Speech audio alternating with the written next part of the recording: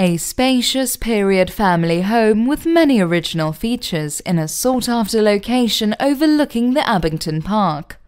This family home has been well maintained and upgraded by the current owners to include a converted cellar and a superb kitchen family room with granite work surfaces.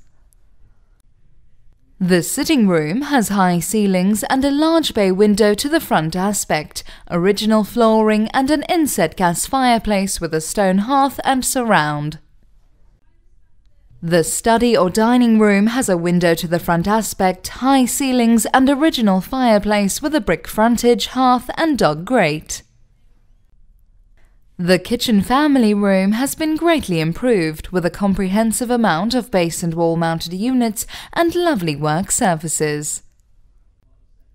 The cellar has been completely renovated and converted to a very high standard and is currently used as an entertainment room. The kitchen opens into a lovely big dining area which has two large windows to the rear aspect and two UPVC double doors out to the rear garden. Bedroom 1 is on the first floor and has built-in wardrobes and a feature fireplace. On the second floor, bedroom 2 also looks over the front of the property and has a feature fireplace. The rear has a patio area which is accessed from the dining area of the kitchen. There is also a decked area and a further raised decking area with balustrades surrounding.